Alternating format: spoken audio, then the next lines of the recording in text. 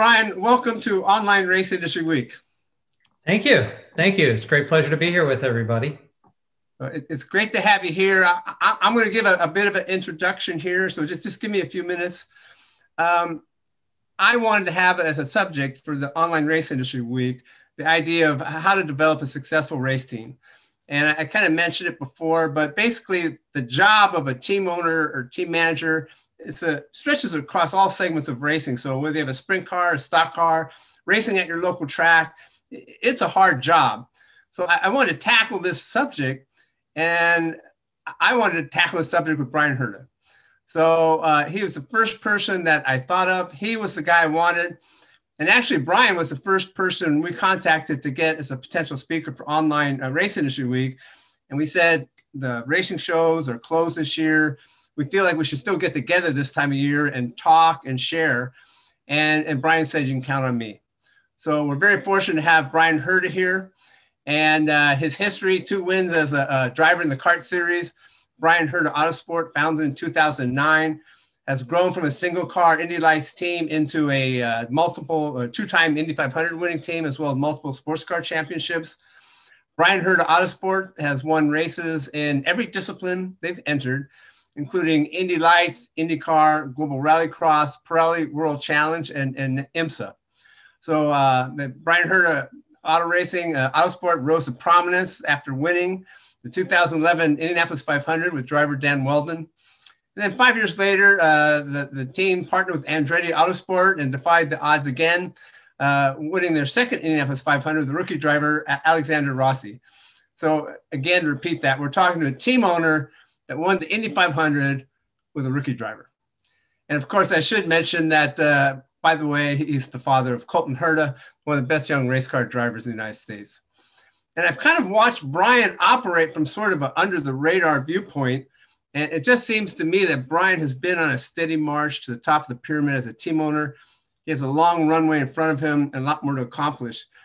And as I say this, I want to also acknowledge all the pressures on a team owner in very different directions. So, pressures on Bryan. We had Roger Penske. He knows what these pressures are. So, the same person has to be responsible for getting sponsorship sold. The same person has to get the best drivers not the most famous, not the ones bringing the most money, not the ones who talk big, not the ones who wreck the equipment, the best.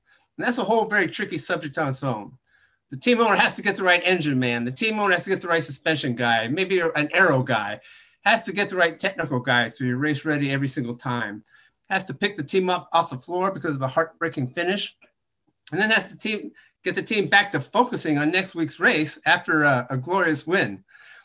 And then after all that, he has to not go broke in the process. So um, to me, Bryan Herta is one of the smartest, savviest people uh, in United States racing, probably worldwide. And uh, I've kind of watched Bryan Herta's team through a really great young driver named Michael Lewis. So uh, I've been watching Michael Lewis's career since he was in quarter midgets. And I, I love Michael as a driver. He just seems like approaches lap times and, and practice laps like a scientist or engineer. He just methodically carves away the seconds as he, he figures out the track. And he's dedicated to winning 24 7, 365 days out of the year. And then at the end of the race, Michael's always racing for the win. So he's not out there for a Sunday drive. At the end of the race, Michael Lewis will put the car someplace it's never been before if that's what it takes to win the race. So I've always loved Michael as the driver. And then he gets connected with Bryan Herta, and lo and behold, the 2018 Pirelli World Challenge, uh, Bryan Herta's Autosport team earns the team's championship that year. Hyundai earned the manufacturers championship, and Michael Lewis's teammate Mark Wilkins, I think they came in P2 in the drivers championship. But then the next year, uh, 2019, uh, let me see, get this straight. Yeah, they, they won the drivers championship. So Michael and uh, Mark Wilkins won the drivers championship, the team championship in the IMSA Michelin Pilot Challenge TCR class. And, and, and this year, 2020 IMSA Michelin Pilot Champions TCR class, Gabby Chaves and Ryan Norman uh, won the championship. But Bryan Herta Autosport finished one, two, three in that championship. And I'm just not sure everybody knows about the Honda program. So that's why I wanted to bring it up also, it's really cool that Bryan Herta is connected with Kurt Agajanian. which has a storied history, those two guys in racing, especially out in the West Coast. Just great names. And Cary, of course, is from the family that operated Ascot. Uh, Cary's a real leader, mover, and shaker in our sport. So Bryan's just connected all these different ways. I'm just always curious what's Bryan Herta going to do next. So before we get to the Indy stuff, and I'm, I'm just almost finished, I have this quote from your blog, Bryan, on the Bryan Herta Autosport website. And I'm really curious to hear what's all behind it because I think there's insight here on what it takes to be a successful team owner. So here's the quote A big priority of ours in 2020 was actively engaging the large community of Veloster owners we so often hear from on our social channels. Now, that's really stepping away from parts that you need to win a race. It's the idea of building community, cementing community on the part of the, uh, the, the car owner or the car marque. What's behind that thinking, Bryan? I just thought that was brilliant. Well, really, it's understanding uh, understanding our needs of our partner at Hyundai. Uh, they're not a brand that's historically been owned in motors in the motorsport world. They've they've dallied a little bit. Uh, they've they've built a winning reputation in Europe with their WRC rally program, and uh, they built these cars a few years ago to race in the TCR class in the World Touring Car Championship. And I approached them and said, "Look, we've got a team. We were competing in the Global Rallycross Championship at that time, but that seemed to be winding down. And we said, look, we're looking for a project.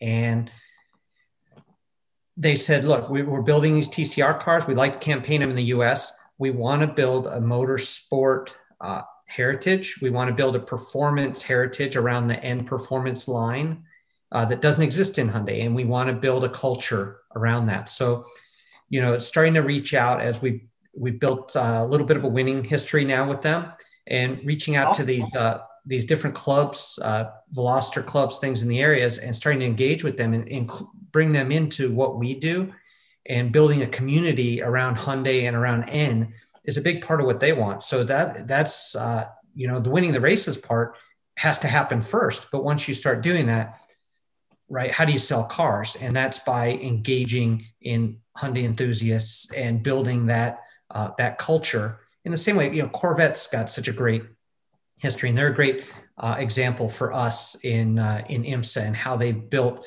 uh, a real uh, cult of of followers around their IMSA program and winning. And Corvette already had such a great performance name. Uh, you know, we we take a lot of inspiration from what they do and trying to not just recreate it, but even expand on that theme or concept. Yeah, that, that's fantastic. Uh, sometimes I think uh, team owners who aren't very good or they're just starting out, they, they walk into meetings like that and we just want your money. We just want this. We just want that. And really, it should be turned around. Here's what we can deliver. Here's what we can bring to you.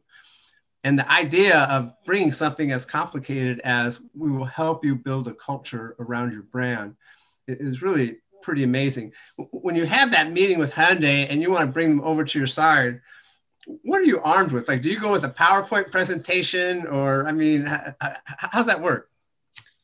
Yes, you do all those things. You, you build the PowerPoints, you, you create uh, a justification for the program. But ultimately, you know, for me, I like to sit at the table, look across, you know, look them in the eye yeah. and say, we're here to win races you know our team has won races in every series every championship it's competed in. And that's why we're here and that's what we can do for you. And if we can accomplish that there's a lot of other things we can do on the back of it. Just to compete isn't enough right? Just to compete yeah. just to be out there um, that doesn't inspire right? You have to win. You have to show something beyond that to inspire and and really give people a reason to want to become part of a tribe or a nation. You know, I love that that nomenclature of a tribe that you mentioned earlier because I, I, I think it's real and you have to build a winning heritage around it. And and you know the the opening speaker you had Roger Penske. Nobody's done it better than him.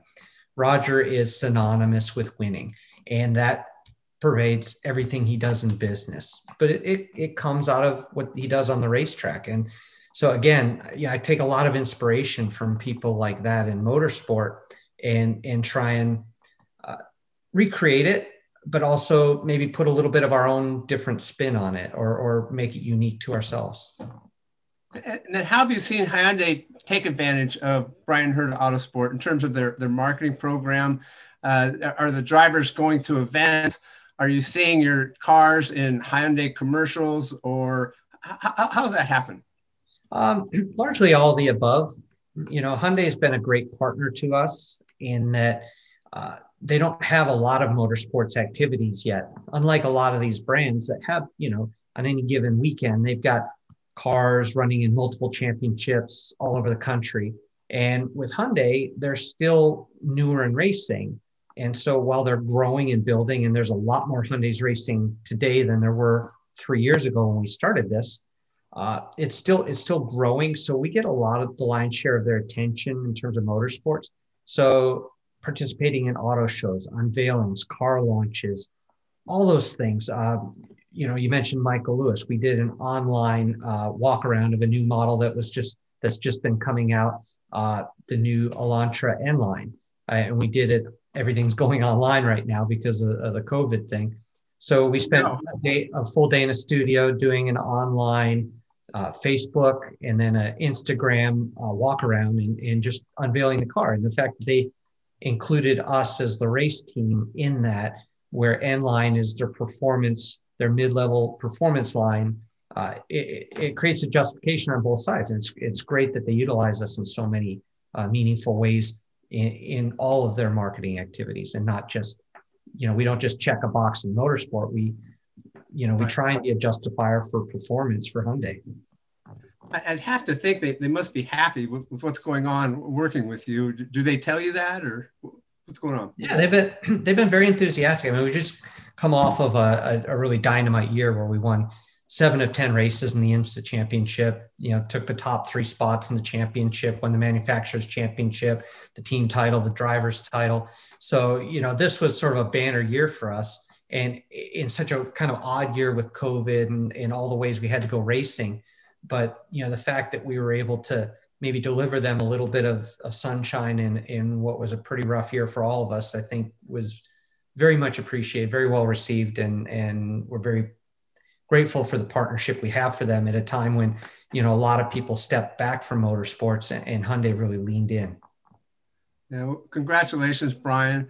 And then uh, that series, we're going to have John Doonan with IMSA. He'll be part of Online Race Industry Week. Um, this series seems like really a fun place to go racing. What did you think about the series?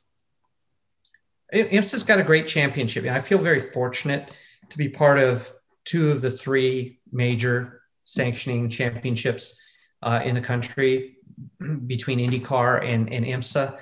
Um, NASCAR, obviously, that's that's a little outside my wheelhouse. Although never say never, but uh, you know, to be able to compete in both of those series and you know, the, the IMSA championship has such a great heritage in sports car racing and endurance racing and all that, all that kind of encapsulates that and be able to be part of great events like the 12 hours of Sebring weekends, the, the 24 hours of Daytona. And even though we're in the Michelin Pilot Challenge, we're able to leverage off of the backs of those great events and, and really take advantage of Hyundai being a meaningful part of the IMSA paddock. Very good. And then for uh, all the people watching, I, I, think probably I'll ask the big question. Uh, so you've got quite a record in winning big races and championships, uh, two Indy 500s, unbelievable. Uh, so you've been asked this before, I'm sure. When they ask you, what's the secret? What do you say? It's the people. I always say it's the people. You know, if I've done anything right or learned anything in my 30 plus years in motorsport, it's that you, you align yourself with great people. And, and in every instance you mentioned, that's been true. In t- 2011, when we won the Indy 500 with Dan Wheldon, uh, we did it in partnership. Uh, we aligned ourselves with uh, Sam Schmidt's team, and Rob Rob Edwards, who is the team manager now, was a big part of that success. He's now the team manager at Andretti Autosport, so I work very closely with Rob still. So you know those type of relationships then when we partnered with andretti in 2016 that yielded the win at the 500 with alexander rossi. You know i always say it takes three things in motorsports and really only three things time money and people. And if you have those three things you can achieve success. And the people is the most important thing. If you have good people and you give them enough time and enough money, they find ways to win. Uh, and and the time and money part's interesting because those two are inversely inversely related. The more time you have, you can do it with a little less money. The less time you have, you need more money. Uh, neither one of those things can be zero. You can't do it with no time, and you can't do it with no money. But if you have those two elements and you provide those to great people, then great things happen. So you know, I appreciate the accolades and, and I'm lucky to have been part of a lot of success in motorsport and, and hungry to hopefully continue to be a part of a lot of success. But I also want to be careful not to take credit uh, for those successes and, and, more just try and share the credit or, or defer the credit uh, to the people that really work day in and day out to help achieve those things. Yeah, I, I've been, I felt really blessed to have gotten into the racing industry because of the people, and, and I find them to be a special bunch. What, what's your take on, on people in racing? Uh, you know, you've had a lifetime with these people. You're with them in the pits every weekend. Uh, you, you, you must like them. I like most of them. Not all of them. well, I, like some more than others. How's that? Um, but yeah, I mean, uh, racers are a unique and different breed, and you know, I think for to a large extent they're built differently. You know what it this isn't a job you can do just for the money. Uh, you know the old adage is very true is you know if you want to make a large you know if you want to make a small fortune racing start with a large one. It's very easy to it's very easy to do that. So to try and really create and run a business in this world something that has to be self-sustaining i don't have the ability to you know spend millions of dollars out of my own pocket every year to to to prop something like a racing program up, it has to be self-sustaining. That's a great challenge. And, and that's a challenge that's true for racers in every single discipline, whether it's, you know, sprint car driver and team, you know, all the way up to IndyCar, NASCAR, NHRA, uh, anything in IMSA, having to sort of fulfill your your desire, your passion for this sport, but then create a business around it is is a great challenge. And, and the folks who've been able to do that over a sustained period of time, I have a lot of time for and I have a lot of uh, respect for because it's it's a very difficult thing. Yeah, I, I, agree. To me, it's hard to win a race. It's almost impossible to win a championship at the local track. I mean, everywhere, and, and then to win multiple championships is, I mean, uh, good luck. That, that's a tough one. And then I wanted to ask uh, about the concept of culture at Bryan Herta Autosport. Um, I, I, don't know if, do you think in terms of, of culture uh, for the team? Is there a culture there that you talk about and you can identify or, or it just kind of happens? Uh, it doesn't, absolutely doesn't just happen. Uh, it's critical. I think every team has its own identity and especially uh, any team that achieves level of success and I draw a lot from my experience as a driver in the past. I mean, keep in mind, you know, some of your panelists, I never got to drive for Roger Penske, but Chip Ganassi, Bobby Rahal, guys like this, I, I, was able to drive for and and have great programs and, and Michael Andretti. So I was able to kind of learn from the inside of how these great teams function. And every single program has strengths and weaknesses. Uh, but they all have one thing in common is they have a central leadership figure who sets great expectations and and then gives those people the tools to go and achieve those expectations. And so if, there's a single sort of theme is the culture is around winning right? We're not just there to go out put cars on the racetrack. Uh, we're there to go and try and compete and go and try and win. And that's a, it's a very different mentality. And it's it's easy to say but then to create a culture where people feel empowered to do their job, to give them the tools, to give them the resource, and then to give them the freedom. Uh, it doesn't do me a lot of good to hire a really smart engineer, but then prevent him from doing the things that he thinks uh, he can do to help us win races. So it's it's really the culture is okay. I'm empowering you to go win, but I'm also creating that expectation. And if you don't, you're going to have to have a good reason why, or yeah. I'm going to have to have a reason why I'm going to go find somebody else who can go do that. So, uh, you know, that's that's part of it. And then trying to create harmony amongst the group. Everybody has ways of working and and trying to uh, create harmony within the team. But it's the simple things. It's the silliest little things I found that are important in, in keeping morale and things. You know, feeding the team lunch on time at the track is a big deal. Uh, you know, getting to stay in hotels that are clean and safe and nice. Uh, you know, some of the, some of those little things that uh, they don't seem like a big deal become major irritants very quickly. So just just giving the people a good working environment, and I found these guys will work day and night uh, in without complaint if you just looking after them in a in a meaningful way. That's that's very well said. I, this this isn't a business of clock watchers. Clock watchers don't do very well, and, and, and you really have to achieve and and get there. And it, it's a way that happens in the racing business and doesn't always happen in other industries. I, I've worked uh, for many years, 26 years with Steve Lewis, and uh, Steve did a little thing that was really important. He said, thank you. He said, thank you all the time. And, and when I started with Steve, it's like, well, that's nice. He said, thank you. And then the next week he said, thank you. And the next week, and yeah, I was working really hard. I was doing good things. And the idea of what you just said about the little things matter, uh, nobody ever said thank you to me before Steve Lewis. So I, I think you're onto something. And I picture you as being an accessible team owner uh, with your team, with the guys. Is that true? Can they all come talk to Bryan or you're out there and available or how's that work? The communication channel. Right. Try, try to be accessible. Um, you know, our situation is a little unique. I live in California. team is based in Speedway, Indiana. I, have normally spent a lot more time with them this year because of COVID and everything. Yeah.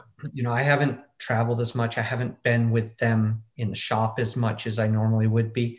So it's created some challenges. And as we grow, we're, we're, we're at sort of an in, interesting inflection point as a team. Is the IMSA team, which started life as the Red Bull Global Rallycross team, was a small self-contained unit. It's separate from the IndyCar program. Uh, the IndyCar program is fully lives and runs at, at Andretti Autosport. So the IMSA program with Hyundai is, is separate and started off as a very small dedicated group of people, but it continues to grow. And we're at that point where we're really transitioning from a small team to a bigger team. Mm-hmm. Uh, we have a, we have a larger staff. Uh, you know, having to meet HR challenges, uh, 401k programs, uh, medical plans for for employees, all the things that big teams and big businesses need to do. We're transitioning into those right now, and as my focus has to be more on some of the business side of those things, it does take me a little bit more out of the day to day side uh, which is which is something I'm still learning and trying to adapt to and, and try to figure out how do we keep all the things that were great about us as a small team uh, while we're growing into a big team. And you know, we should have this in another three years or four years, and hopefully I'll be able to talk about that a little more. But those are the things that we're trying to learn and, and I'm trying to adapt to. And, and as we're those are our biggest challenges uh, with our team now is is we're really not a small team anymore so we can't think like one. And there's great advantage with being small. You're very nimble, you're very adaptive. You have uh, a very small group of people, communication's easy. Uh, as you get bigger, those things get harder and you can you can bog yourself down in them. Uh, so navigating all those things is really interesting. But again, I've got great mentors and I've got great examples with you know Rob Edwards and the folks at Andretti Autosport, uh, the experiences I've had with these other great teams, Rahal, Ganassi. So uh, I rely on a lot of those things uh, as we try and chart a path towards being one of those teams. Yeah, you know, the, we're working on the 401k program and the medical program and all that. It's just tedious, frustrating stuff. It has nothing to do with horsepower or aerodynamics or anything. But uh, I agree. If, if you can get that squared away, uh, it, means a lot to the, the people on the team. I'm trying to hire good people again to do those things because it's right. That's not where my passion lies. Right? I, I want to spend every minute of every day trying to figure out how to make race cars go faster. That's the part I care about. That's the part I love. Uh, but also recognizing that that's not the only important part if we're going to grow our business. Yeah, I, I, uh, loved working for uh, smaller businesses.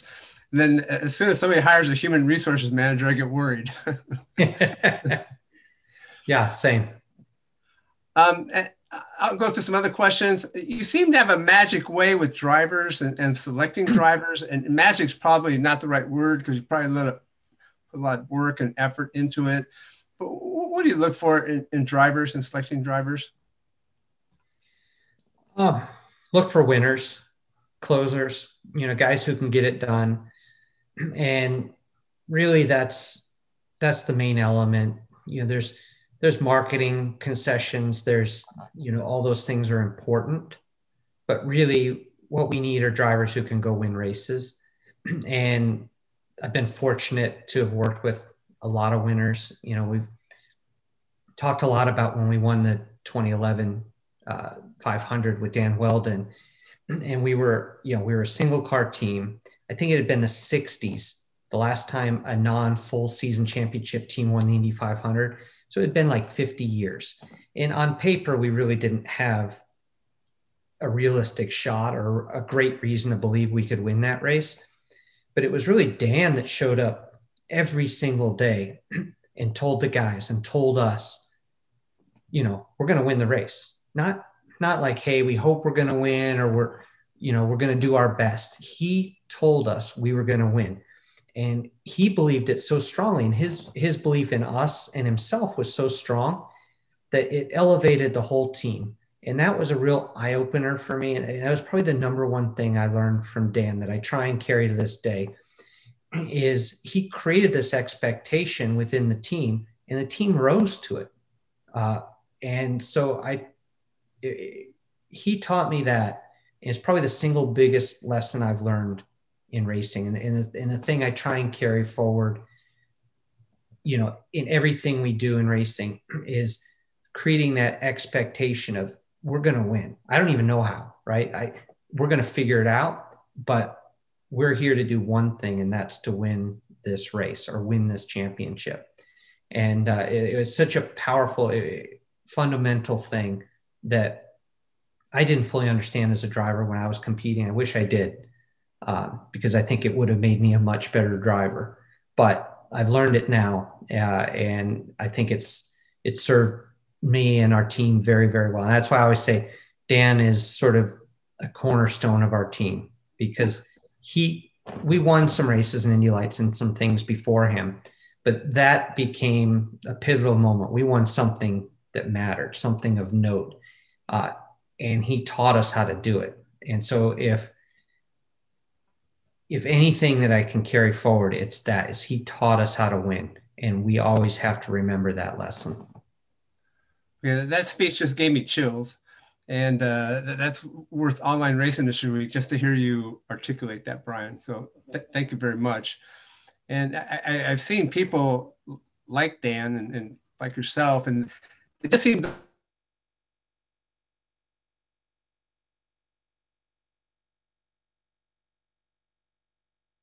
the I've seized up here. Uh, people like Dan, they just seem to will it and, and, and make it happen. Uh, well, he he does. he did, and um,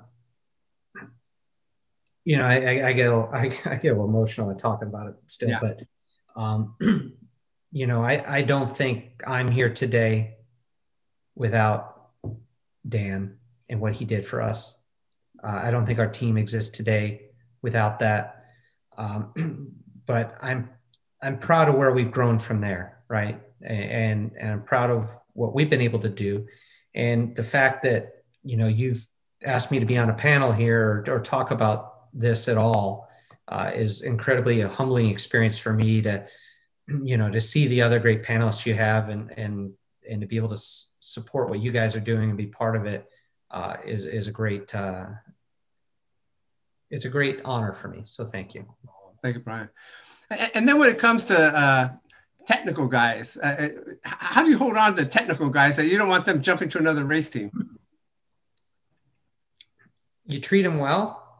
Uh, you challenge them because they all want to be challenged. Smart, good guys, they want to be challenged, and and you give them the tools to do their job. I think if you do those things, by and large, you, you know people want to stay. People don't. There's an inertia to staying where you are that leaving is difficult and you know you want to make it even harder to leave because you want to give them a great place to work and a great place to be in a place that they feel they can get up in the morning and be challenged uh, to do to do great things.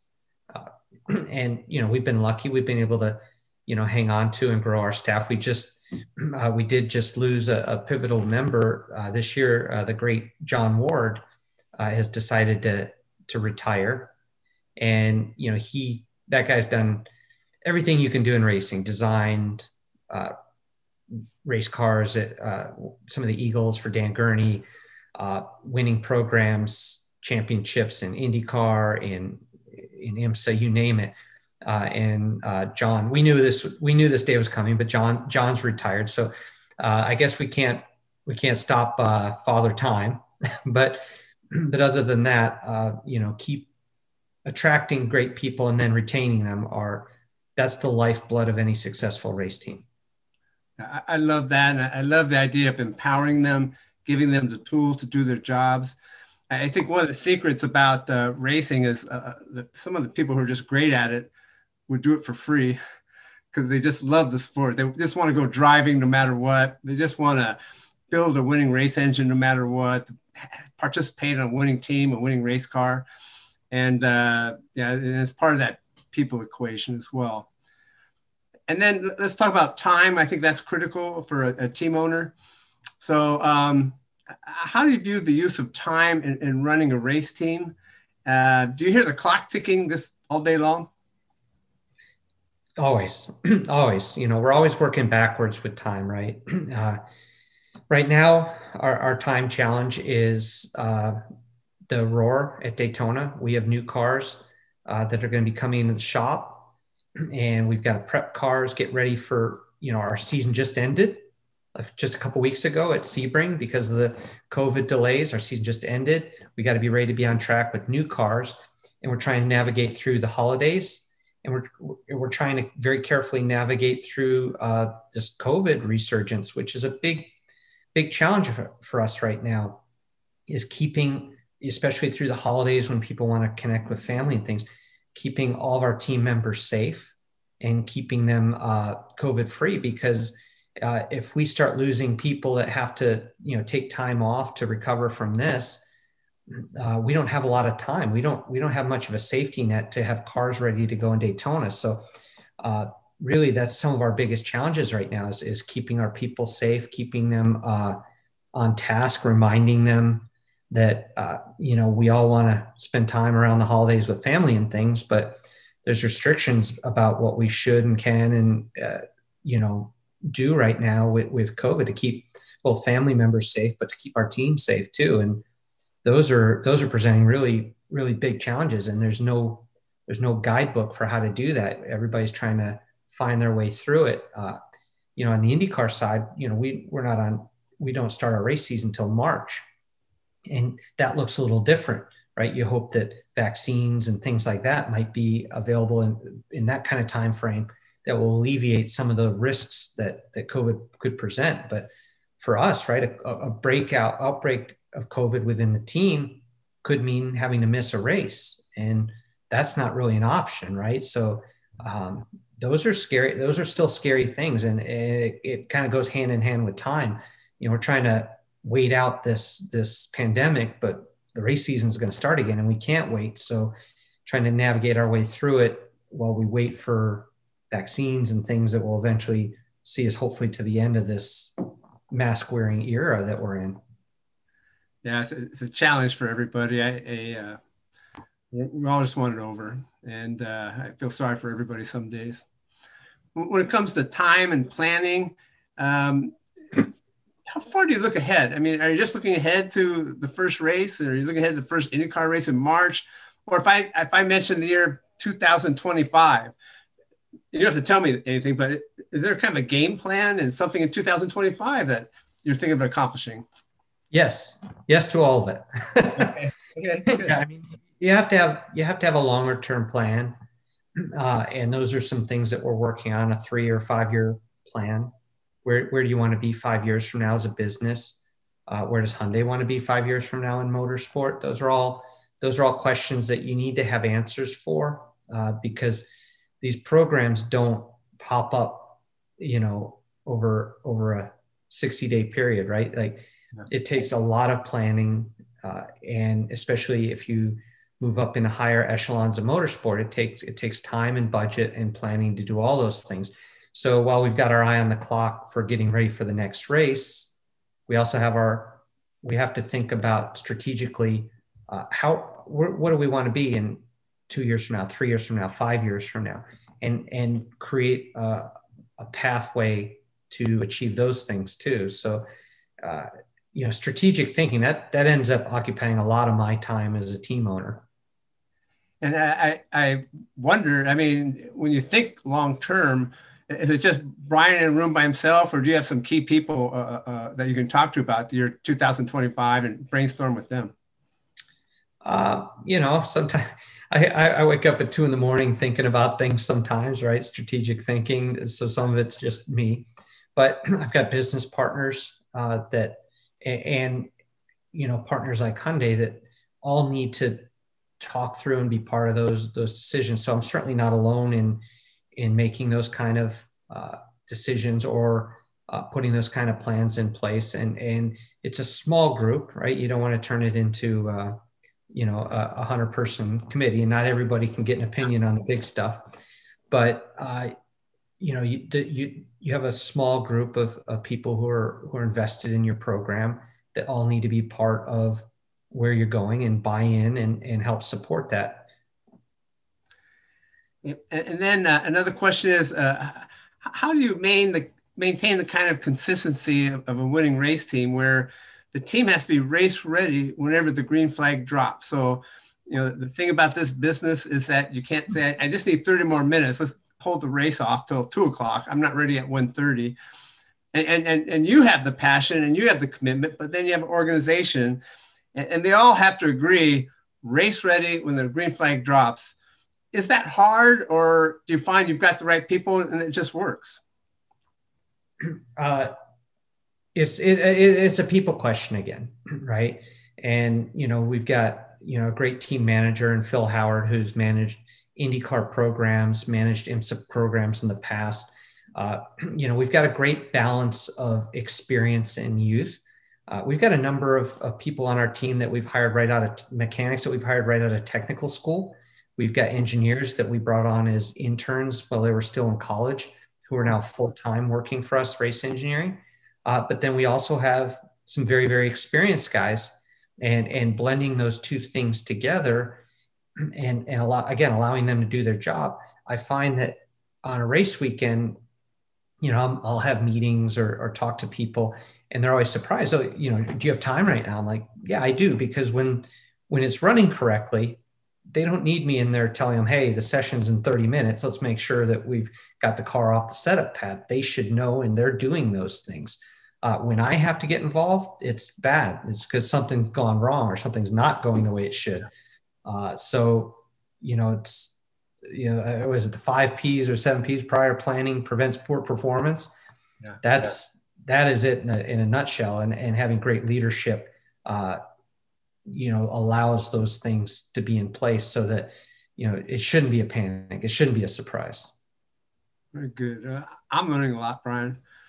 Um, the logistics of moving a team around can be daunting and expensive, but like you said, it, it kind of happens. That lunch in the pits is really important. So, any advice here to team owners, not just at the top level, but even the grassroots level? when it comes to logistics of travel and, and dining and all that? Well, really comes down to a couple of different things. Um, you need to you need to get good people and then take care of the people. That's the best investment you can make. And then really beyond that, uh, trying to stay focused on the things that make the race cars go fast. Uh, you, it's an allocation of resource and you need to stay at a nice enough hotel, right? There's loads of examples of we've seen teams that run mid pack, you know, and they're staying, you know, their guys are checking out of the Hyatt race morning, right? and then, you know, you don't you don't need to spend all your money on things like that. You need to make sure you have the money to spend on the resources to make your car go fast. But your people are your single greatest resource. So there's a minimum level of expectation that uh, you know we, we we actually whiffed a couple times this year. So this comes from experience. You know, you you go and you book a hotel and you think, hey, this will be fine, and you get there and it's not great. Uh, and those are things that you have to be willing to you know there's some races we learned this year we're going to have to spend more on hotels because we need you know we need to make sure that our people are safe and in in yeah. good places so it's it's it's an ever evolving process and i don't know that there's there's an answer other than you have to have a goal of what you're trying to achieve with all these things. Yeah. i've always been happy at a hampton hampton inn you know they they're, they're clean they're efficient uh, they have breakfast in the morning and uh, i'm good to go there and, and it doesn't cost uh, what the hyatt does. Well you know the one thing i do is i always stay where the team stays wherever it is. I stay with the team. Uh, and if I'm at a hotel, I'm at the team hotel. And the reason is because I, I, I want to very clearly send the message, right? I wouldn't ask you to do something I wouldn't do myself. And it's the same thing on a race weekend. Uh, you know, I'll often, you know, straighten the chairs up in our little lounge area or wipe a table down. And it's not that they're not doing it, but I want to demonstrate through example that, you know, I'm willing, these things are important to me, right? And that I'm willing to do them too. So again, I'm not asking, there's no job that's beneath me. So there's no job that's beneath anybody on the team. I like that part too. And then let's talk about getting sponsorship. What have you found to be the key elements in building a successful sponsorship program? I, I just picture as a job that's never over. Never over, never over. You're right, um, but it's it's one of the three key pillars, right? People, time, money. And I can't manufacture time, right? So really the two that I can control are people and money. And if you have great people and you give them the financial resources. And so that's the hardest part. And, you know, every successful program has those elements. And we're very fortunate with the IMSA program, have great partnerships uh, from Hyundai. And we're, we're very fortunate uh, with Andretti Autosport and the IndyCar side have great financial partners. And those things uh, don't happen by accident. They're cultivated, they're built over time. Uh, and, and it's not, it's so much beyond the communication of how big is the decal going to be on the race car, right? If that's the conversation you're having, you're really not having the right conversation at all. Uh, it's about understanding the needs of the partners and trying to create uh, ways to leverage motorsport to address those needs. And that's that's true in every single successful race program I've ever been involved in, and I think that's that's true in our race program as well.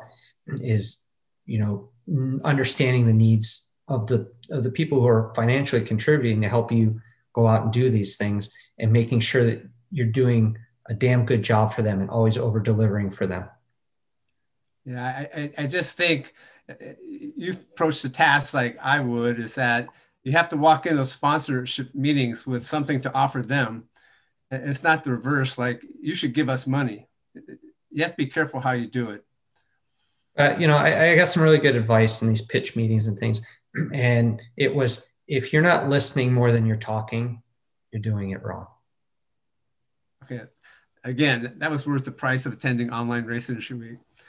Uh, in the Indy 500, are you making the calls yourself when it comes to the pits and, and when to pit and get more fuel and those kind of decisions? Uh, is that you, Bryan, doing, doing that on your team?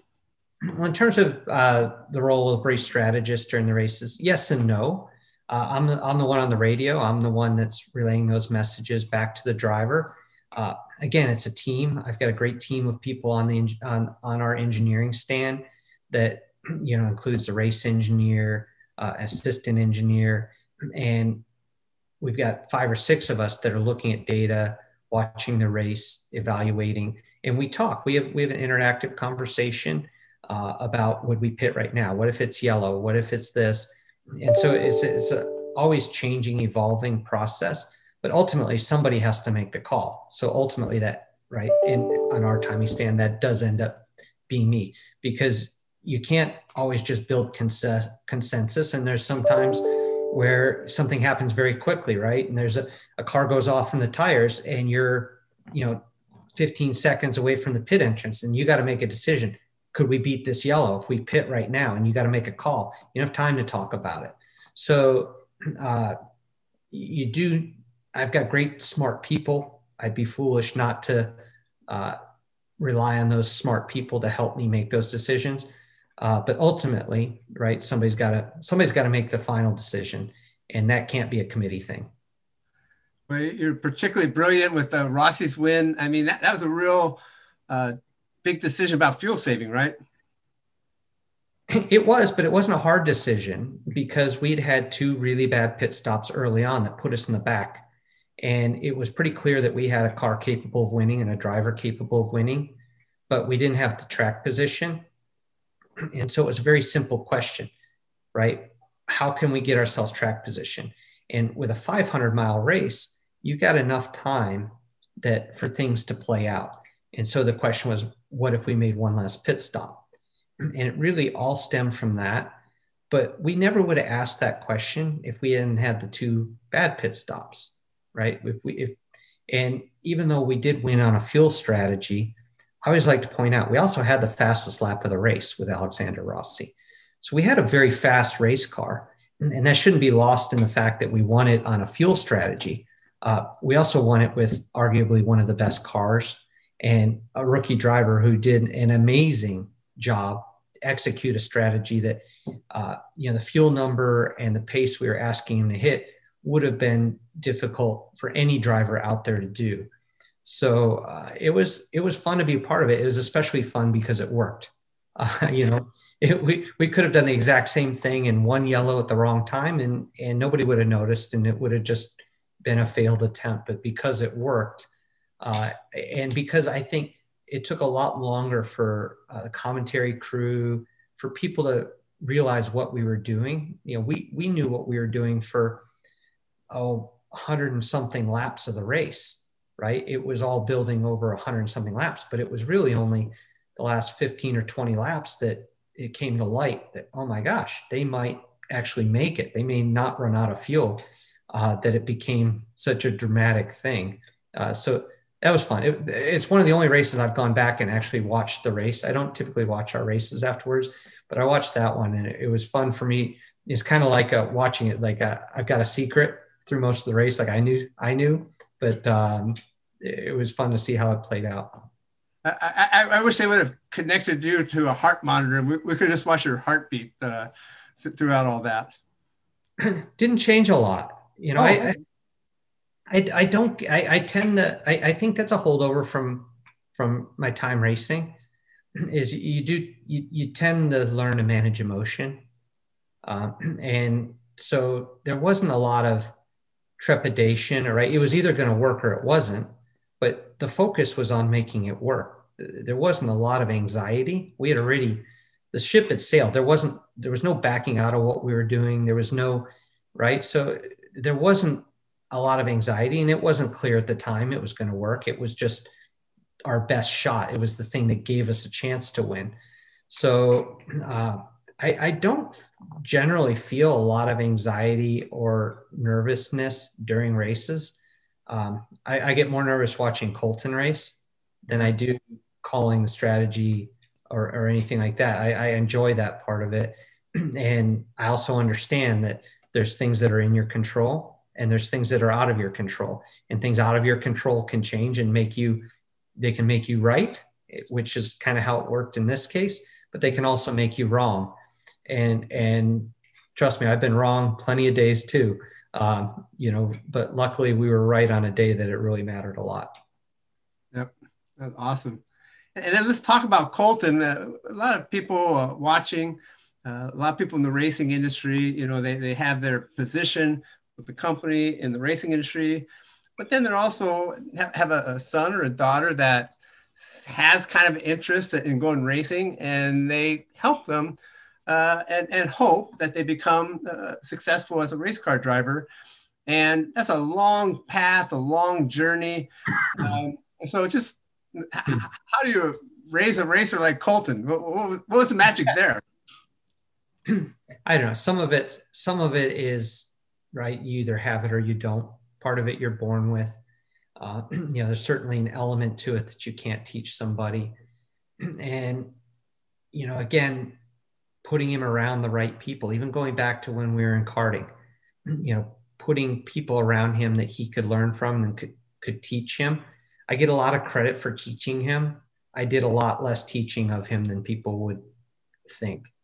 Uh, and I, I, see this to this day, um, even with Michael Andretti, uh, you know, with, with Marco, it is hard to teach your son or daughter. It's just the dynamic of parent child is it always enters into it. So I've tried to put him around great people. And frankly, when he was 13, he moved to Europe on his own. Uh, I wasn't there, and I put him at Carlin, which has a tremendous academy program and a great history. And they they did more formative training on him than anybody else. And he came back from Europe after a couple of years with Carlin, and he was a monster and and you know he's done great things, and I, I've I get great enjoyment, tremendous enjoyment, and any parent would understand that watching your child succeed, uh, watching him race. Uh, but I deserve far less credit than some people have tried to give me for it. Yeah, it's a it's a tough sport. It's a cruel sport, and and to have your child enter it, this I can imagine the trepidation. Like, oh, good luck. And uh, Michael Lewis went to Europe too, and I, and I, saw that transformation that you can have going to Europe, and uh, they, they really drill you differently, train you differently, and uh, boy, they, they, can take you to the next level. Well, and there's there's great training programs, and eh, you know there's there's great programs here too. Mm-hmm. Uh, frankly, I think Colton went to Europe to get away from me in a way. That's um, classic. He started racing here, and, and and he was getting a lot of attention for being my son racing junior formula and probably less attention for starting to you know learn and have success at it. And i think you know the last thing his mother and i wanted was for our you know early teenage child to move away. And he didn't live here. He didn't know anybody. It was it was hard. It was a hardship on him. It was a hardship on us. I think you know we both cried a lot on the plane ride home from england. You know we flew him to England, met the family he was going to live with. We stayed there two days and left him there. Uh, and I know my wife cried most of the flight home. And I, I, if I'm honest, I probably did a little bit too. Sure, sure. But it was the sacrifice uh, and the discipline that it took to do that that I think it, at a very formative time for him made a difference, right? If you if you're willing to do that, you're willing to do anything to try and win. Yeah. And you know that's that's a great great champions all have that um, they all have that attribute. They're willing to sacrifice. They're willing to put uh, put this above many other things in their life, and it, it's a it's a hard thing, right? Because there's a lot at a time when a lot of guys would rather be you know chasing girls or or or hanging out with their buddies you have to decide I'm going to do this instead and hope that it's worth it. And that, that's the damn truth of things. And, and thank you for putting it so well and, and sharing something personal. Uh, we're kind of at past the 50 minute mark, Bryan. So uh, we're just going to wrap this up.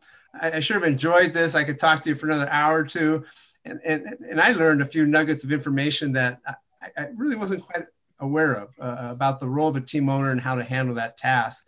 So th- thank you so much, Bryan, for being part of this. It was great talking with you. I appreciate it. I just want to say too that uh, since since you guys were great enough to have me on, that you know I've I've been a fan of what you guys do. We utilize epartrade.com with our with our team. We've found suppliers through you guys. We've we've been reached out to by suppliers through you guys. So uh, I think it's a really valuable thing, not just for us, but for any motorsport team and and appreciate you guys for having the vision to do it and uh, and to push it through because it's hard to be the first at anything and you guys are definitely leading the way here. Yeah, you. you. know, racers being the first is okay. That's right. Thanks, thanks, so much, Bryan. Thank you, Bryan. Thank you Thank very, you very much. Thank you. Bye-bye. Registering on ePartrade is easy. Fill out your name, email, phone number, and create a secure password. Next, select your business type. Choose Supplier if you're looking to display products or services and connect with buyers. Choose Racing Business if you're looking to find new parts and connect with suppliers. Choose Race Team if you own or are a member of a professional racing team. Begin typing your company name. We most likely already have your company in our database, which you can select from the drop-down. Then, enter your job title. Choose Claim Company if you'll be editing your company profile. Other members of your company can choose Join Company if they'd like to use ePartrade as well. You can view and agree to our terms of use here. If you'd like to receive our weekly newsletter, choose Accept. Click Register Now, and your registration will be submitted for approval. You'll need to confirm your email once it goes through. To keep our platform industry only, you'll be approved shortly after. If we require additional proof of business, we'll reach out. Welcome to ePartrade.